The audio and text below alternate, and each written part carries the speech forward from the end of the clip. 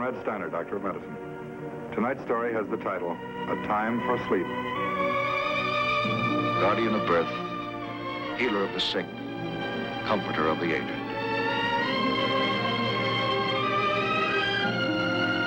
And the qualities of the worthy physician are three.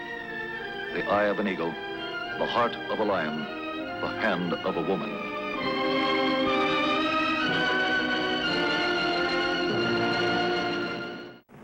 Actual case history tonight concerns the field of anesthesiology. The object in point, an old gold watch, once the property of a great teacher in the field of chemistry, Dr. Friedrich Zimmler. The case in point, the present owner of that watch, a 60-year-old professor of chemistry, Dr. Gertrude McDowell.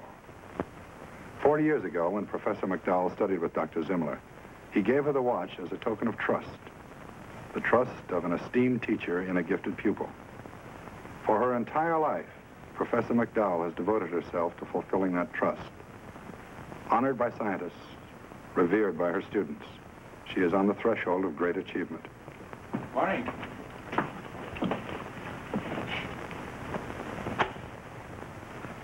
Say, Professor, did you see this?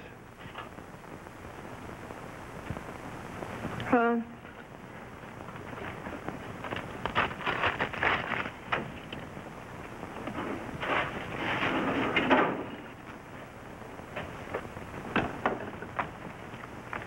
Do those computations for me? Yes, sir, right over here.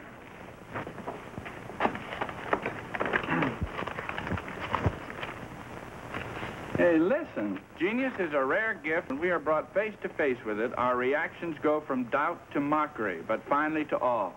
That's a beautiful piece of work you've done, Collins. Very nice. Thanks. And in such a mood of awed reverence, we stand before the genius of Gertrude McDowell, the American physical chemist, the publication of the first in her series of papers on the atomic structure of crystals already sets at the very start a standard of research for all chemists to aim. You won't do any series if you don't take your nose out of that nonsense. Take a look at that. Pat yourself on the back. Okay.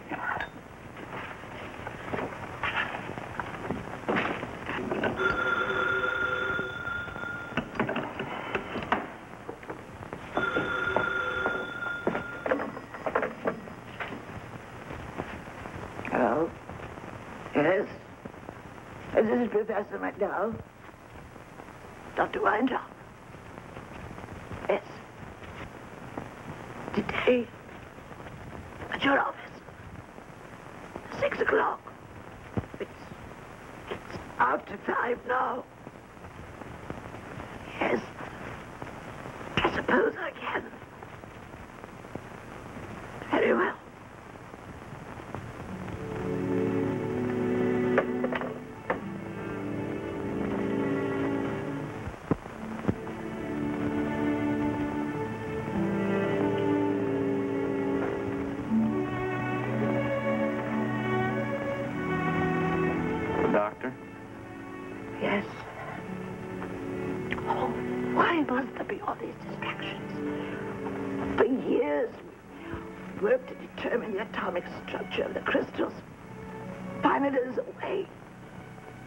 All I need is two years on the series. All I've ever wanted. Just one darn thing after another. Oh, well, we've got half an hour. If those doctors choose to waste our time, doesn't mean that we should waste it, too. It's a poor risk. Davis had her on propylthiouracil for three months with adequate digitalis medication. She's in temporary remission. She's having increasing difficulty breathing. Thyrocardiac, toxic nodular goiter projecting substernally, with a severe respiratory embarrassment. Goiter's pushing the trachea way over.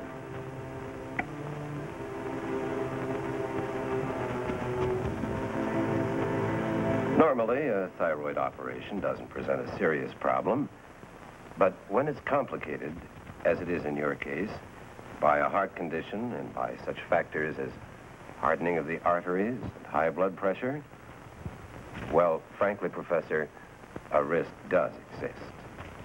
Dr. Weintraub here wants me to go into the hospital tomorrow. Operation.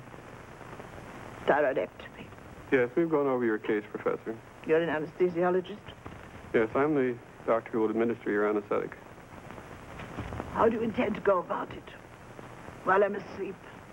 Well, we're going to put you to sleep very gently and very safely. How? An intravenous anesthetic. What kind?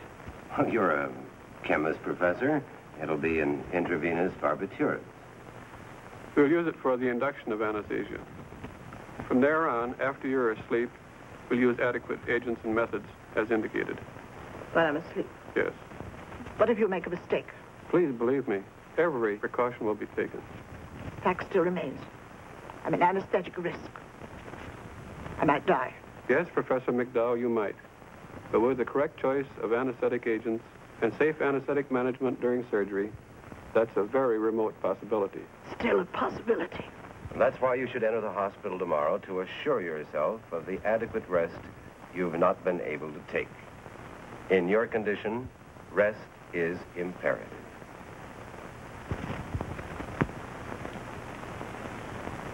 What time do you wish me to check into the hospital? Any time before 4 o'clock. Very well.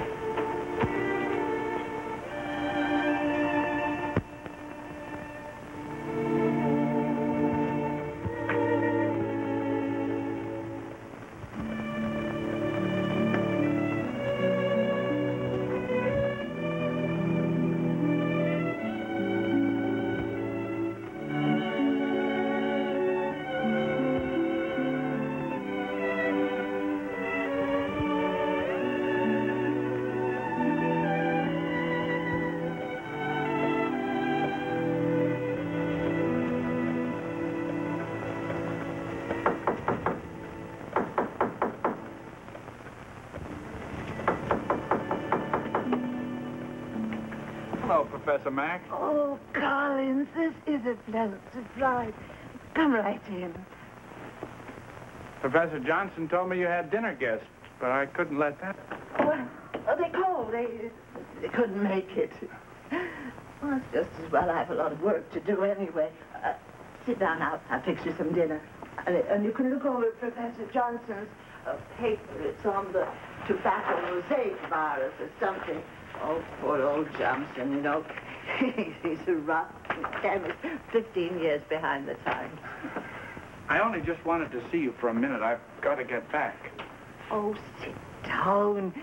You work too hard anyway. Come on, relax. Well, it isn't work. Uh, that is, I have a date. Collins, you got a lady friend. Well, I'm working on it. Isn't it never thought of you as having time for... Oh, I'm very happy about it. It's so nice, but... Oh, just don't stand there. Go get her. I can't have my most brilliant young chemist going up with just anybody, you know. Well, it isn't that kind of a date, Professor Mack. It's at her parents' house. You see, I'm... Well, I've asked her to marry me, and I've got to clear it with her folks at dinner. Oh, I'm, I'm so happy. Who is she? It's, uh, Eleanor Johnson. Professor Johnson's daughter. Yes. well, he's still a rotten chemist. Oh, but they're going to have a good one in the family now. Congratulations. When is it to be? About six weeks. What I wondered, Professor Mack, was, well, you know I don't have any family, and, well, you're the only one who's ever taken any interest in me, helped me, and what I wondered was whether you would be, I, I'm very happy to be your family, Collins. And if that old funny Johnson, oh, I'll let you, you just leave him to me. thank you, Professor Mack. Well, good night. Oh, Collins, just a minute. I, uh, I won't be at the lab tomorrow. I, uh, want me at the hospital early in the morning. So soon? Evidently. And I may not be back at work for some time. I'll take care of things. Uh, you will uh, check the proofs on the papers, the third series, won't you? And I, uh, I want you to take a watch. Professor Mack, I couldn't accept a thing like that. Take it. You make me very happy. Take care of yourself. Good night.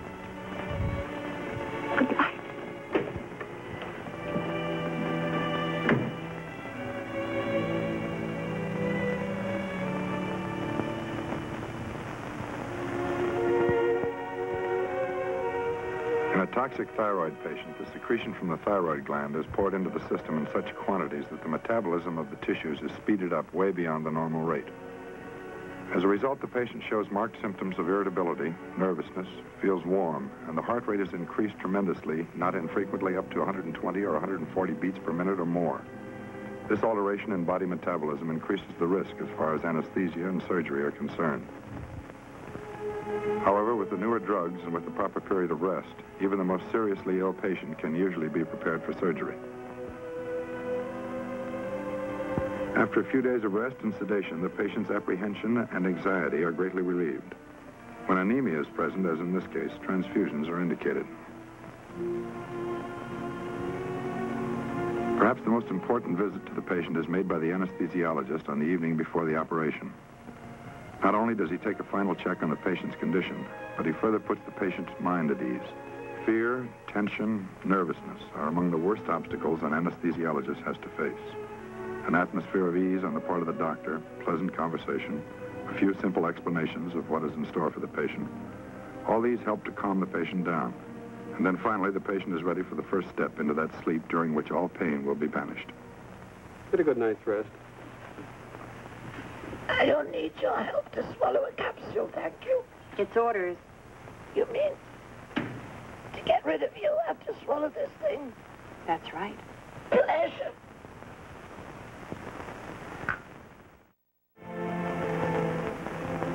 When the patient is brought into the operating room, the anesthesiologist appraises the effectiveness of the preoperative medication. The patient is drowsy but can still be roused. I know you by your eyes.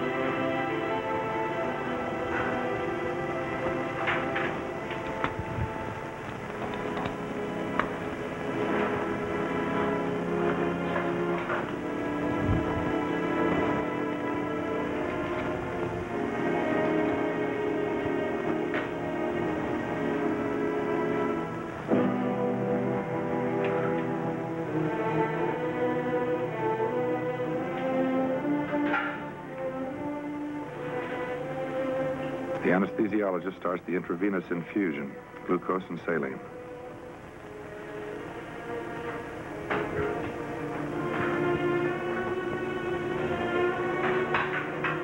Then he reaches for the syringe containing the intravenous anesthetic. The anesthetic is injected slowly into the intravenous tubing.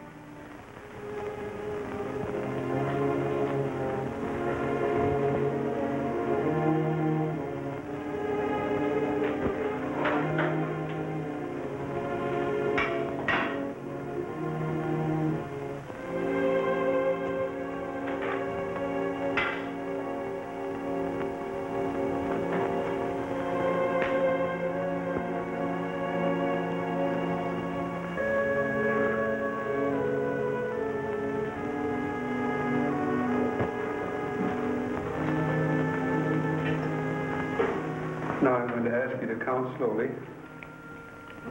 One, two, three.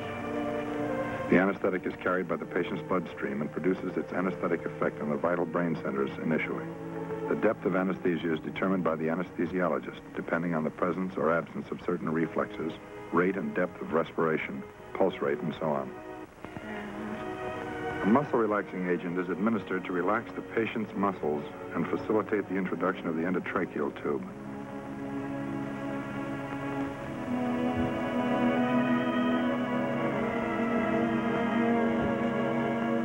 With the required relaxation achieved, the patient is ready for the endotracheal.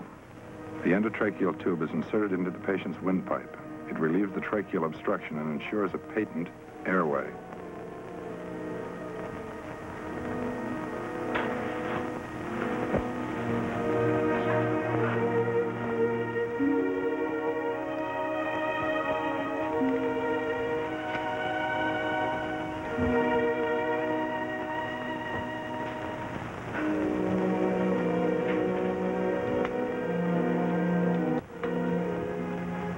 The depth of anesthesia is controlled by administering additional amounts of the intravenous anesthetic, along with the assistance of certain gases, such as nitrous oxide. Under all circumstances, an abundant supply of oxygen is maintained.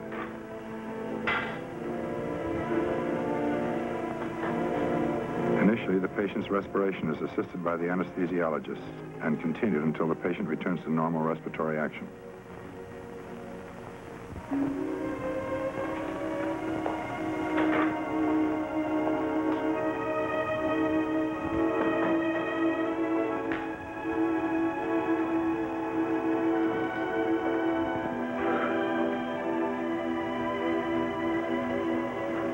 In a thyroidectomy, the patient is tilted in a position that assures the surgeon maximum ease.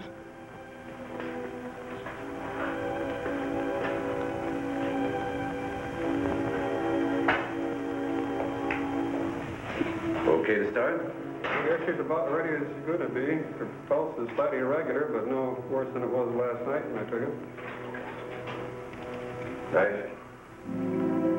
And so it begins.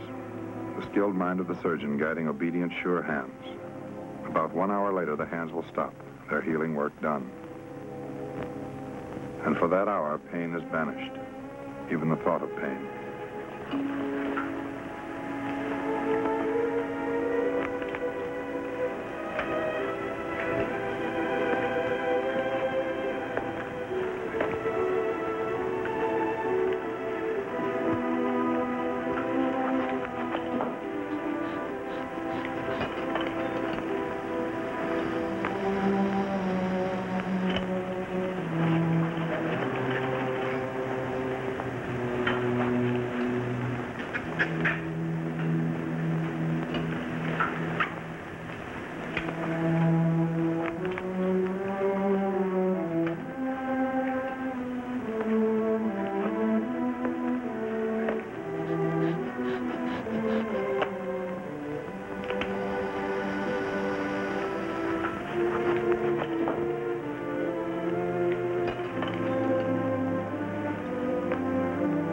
Pressure holding up?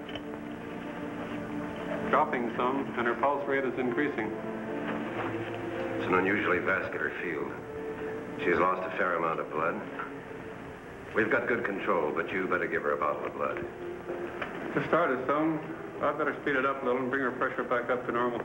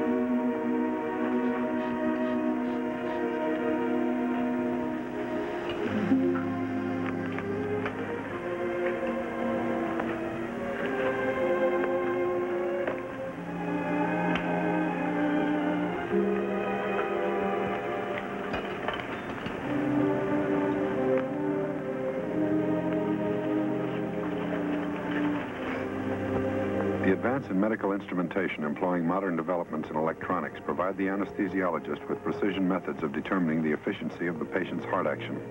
Such an instrument is the electrocardioscope, which visibly shows any regular or irregular action of the heart, which are not always detectable simply by palpating the patient's pulse.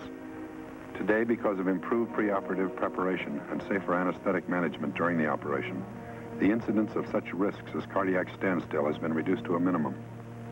As is usual nowadays, the operation proceeds smoothly, and the patient is safe and free from pain.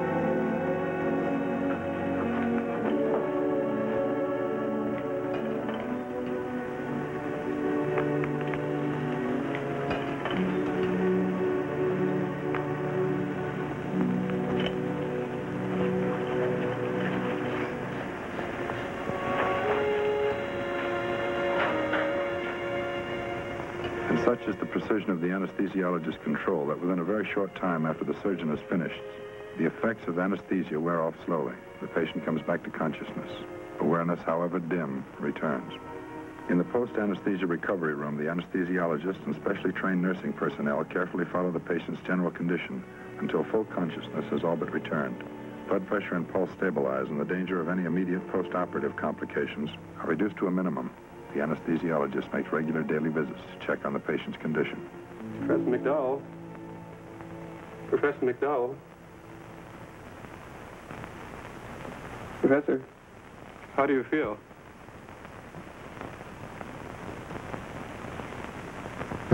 It's all over. Over. You did fine. Even better than we thought.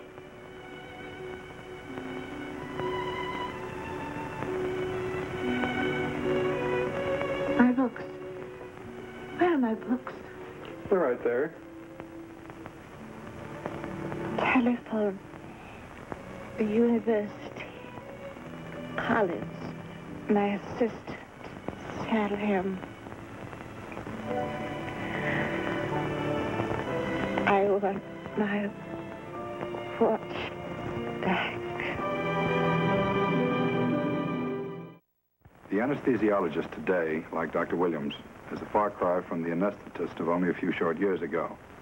He needs a specialized knowledge of pharmacology, chemistry, and physiology. With its multiple techniques, its many different mechanical and electronic aids, anesthesia today requires the skill of specially trained doctors who, after their internship, spend an additional five years training in their specialty, with final certification by the American Board of Anesthesiology.